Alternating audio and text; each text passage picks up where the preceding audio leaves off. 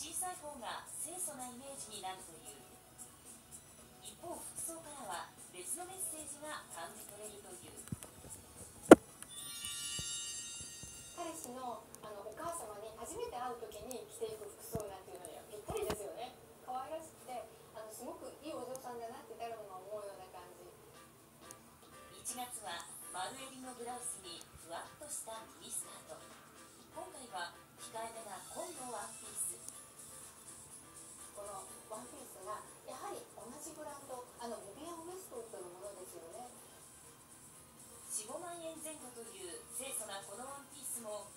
指輪と同じブランドだった。クラシックなんだけれどもその底にそのパンクのスピリットを持っている指輪を選ぶようなそういう何かとても個性的な発想があるわけですよね。